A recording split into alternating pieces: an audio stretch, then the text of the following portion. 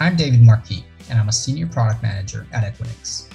In this video, I'm going to introduce you to the new functionality of using A-side tokens for connecting to Self for Fabric 2022.3.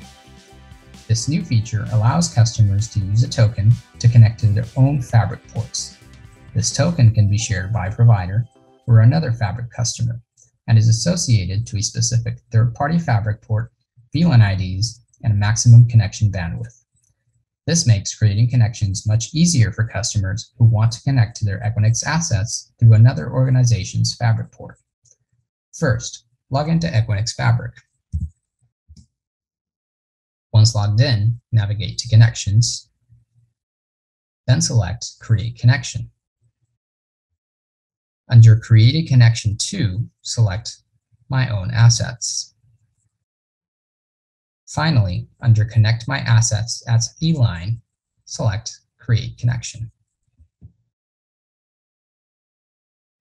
Under Origin, select the Service Token option.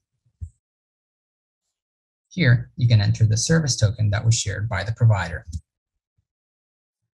Once the token is validated, you will be able to see details of the port that is associated to that token.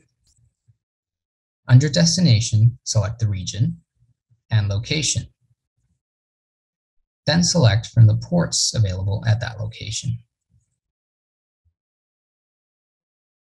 Then click Next. Provide a connection name. Under the name, you will be able to see the VLAN IDs associated to the origin or provider port. Provide the destination tags or VLAN IDs associated to the destination port. Optionally, you can provide a purchase order number. In this case, we won't do so.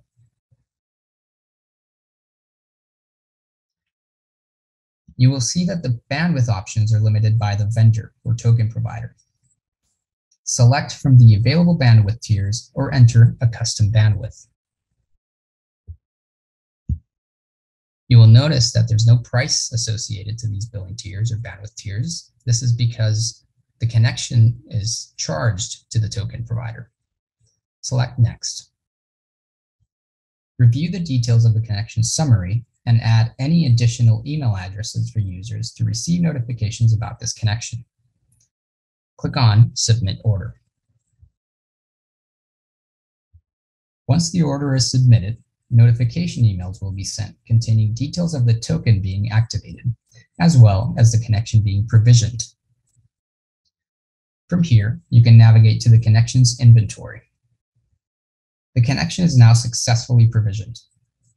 The connection will be shown with two types, one outgoing and one incoming. Both of these represent the same connection. Selecting either one will take you to the connection details. From here, you can view further information about the connection and also manage its lifecycle. This completes the demonstration. Thank you for watching.